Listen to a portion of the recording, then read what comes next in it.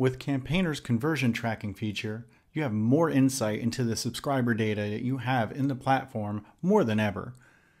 With this feature, you can track web page loads, page click events, purchases, downloading of files, and form completions. To be able to measure conversions, three things must happen. The web pages that you want to have included in Campaigner's conversion tracking must have our tracking code implemented. These are just snippets of code that you need to add to your web pages. The email campaigns must be sent from Campaigner and include tracked links to the target website. And last, conversion tracking must be enabled in the email campaign. Conversion tracking is found in the following areas of the Campaigner platform. It's in a campaign settings where you enable conversion tracking for all of your tracked links in your email. In reporting, you'll find data in email campaigns, autoresponders, workflows, and experiments. Within a contact record, take a look at the contact system properties and history for more in-depth information. In segmentation, you can look at email action and the contact field to build segments based on the conversion data. When creating or using workflows, you can create triggers based on the conversion data. It's important to note that the tracking is not fully enabled simply by enabling it in the email campaign. You must install the scripts on your website. To do that, we're going to head over to the knowledge base.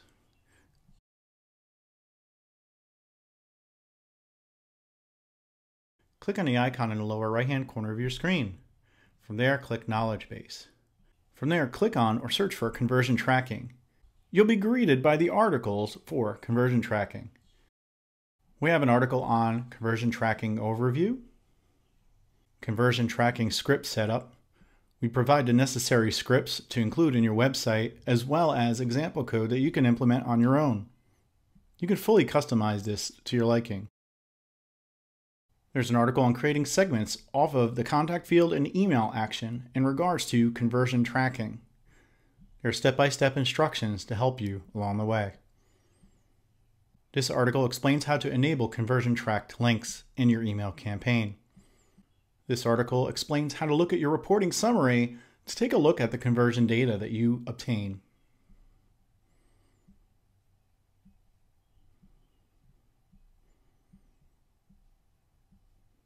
Reporting covers the reporting that's available in your email campaigns, autoresponders, workflows, and experiments. Once you go into one of these items, you'll have information on the left-hand side towards the bottom that says conversions, and then it goes over information such as summary, converters, domain, device, and region data. This page explains how you can test your configuration to make sure that you're getting the data from your website. This last article explains how to check to see if cookies are being collected properly from the conversion tracking scripts. If you need any help, contact our support department.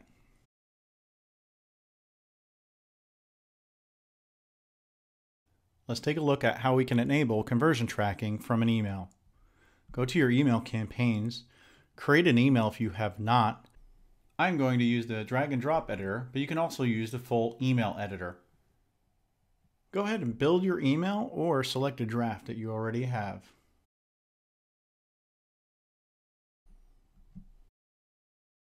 Make sure to enter your subject line, pre-header, from name, and email address, along with any other features and information you want to include in this email campaign. We will enable conversion tracking in the analytics section. Click on Enable Conversion Tracking for all tracked links within this campaign. That's how easy it is to implement conversion tracking, but don't forget you need to have tracking code on your website. Now send your email.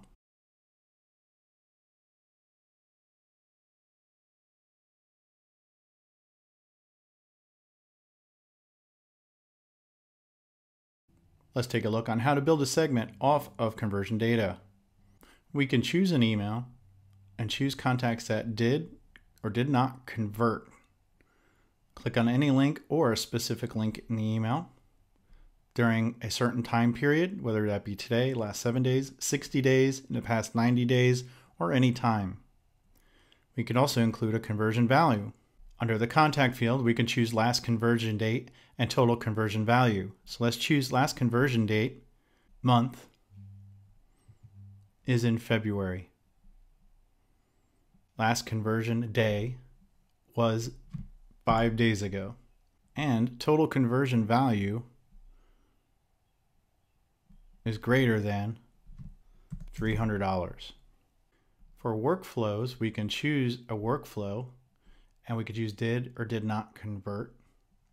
And again, choose our time frame in the last 30 days, any value or is less than, greater than, equal to, or in a certain range. Those are just some examples of segmentation based off of conversion data.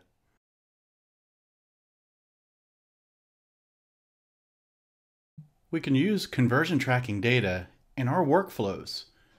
The first area you might want to look at is the trigger.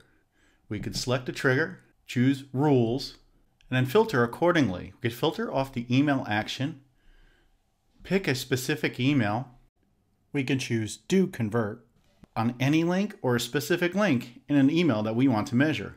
We can also choose the conversion value is less than, is greater than, is equal to, or is in a range and during a specific time period.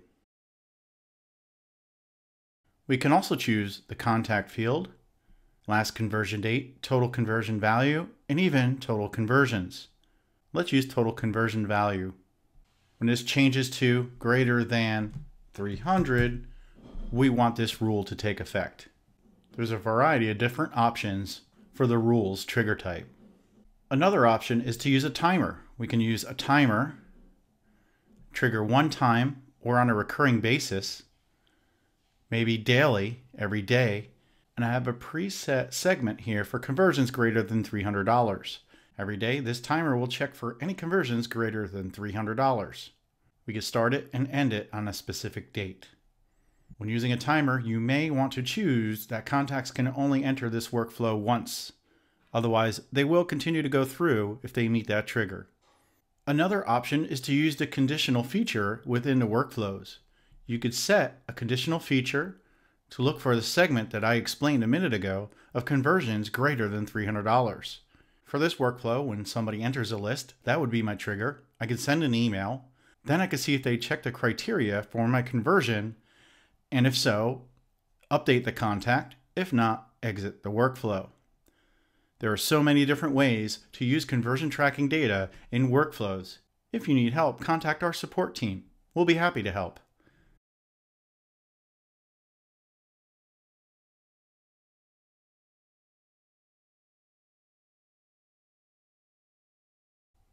If you need to install the conversion tracking code manually, open up your site code in your favorite editor. I'm going to use some of the sample code. This first JavaScript will allow us to obtain tracking data. We're going to paste that into the head section of our HTML.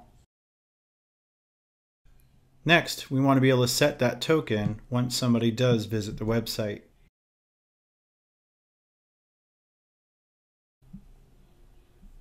I want to include some data to pass once the conversion happens. Next, we need to choose what process conversion type to use. We have a purchase, form, and download process. I'm going to choose form and it also acts as a page load. Let's close our script. Alternatively, you can use a button to process the conversion like this example here, which would go in the body of your HTML. Once you're complete, save your code and implement it on your website.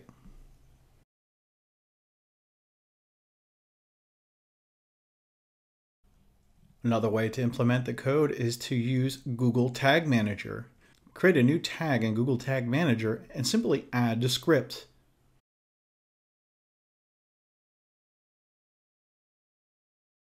If you're using WordPress, there's many plugins that allow you to add code to your header and body tags. I'm going to add one to the header here.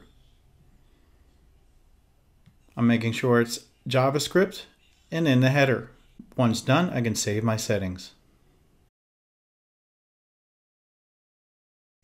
As long as you're able to add code to your head and body tags, you'll be good to go with Campaigner's conversion tracking.